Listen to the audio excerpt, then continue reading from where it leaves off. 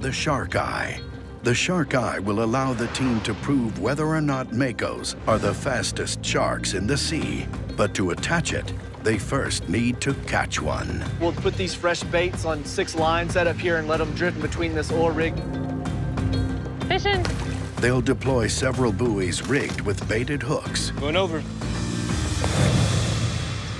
If a Mako takes the bait, the buoy will drag across the surface of the water, alerting the team that a shark is on the line.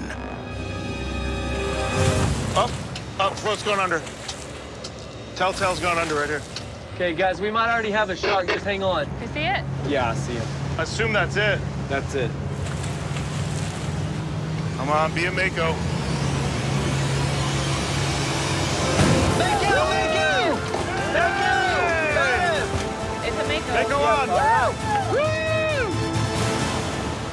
This Mako breached because it was hooked up on a line. Some believe that their momentum can launch them nearly 30 feet out of the water.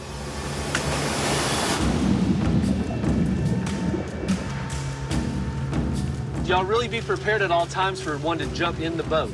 Okay, we'll get it. We'll get it. It's right here. It's going out right here. Shit, Y'all hold on. He's gonna jump. He's gonna jump. He's gonna jump.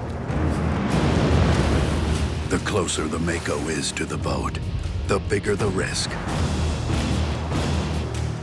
A shark this size could easily launch itself right into the boat. Well, it's coming towards the stern now.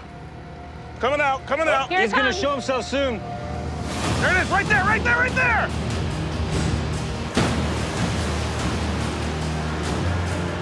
Okay, watch out, guys. Heads up, heads up, heads up. Watch it. Go figure, tagging a monster Mako isn't a walk in the park. That's But right. With a shark secured, the scientists can now attach the shark eye. Okay, guys, the tag is going hot. Okay, good. I got it. First. Get it. Get it. Oh, watch me. Okay, we got it. I'm gonna hold this here. Gotta go. Cut it. Cut it. Cut it. Over the next 24 hours, the shark eye's sensors will track the Mako's speed and acceleration everywhere it goes. In the water, this is only going to be two pounds, just about like a diver with a scuba tank. That animal will swim around, and at a point, the tag will release, float up to the surface, and then it'll begin relaying satellite signals, which will allow us to home in right on top of the tag.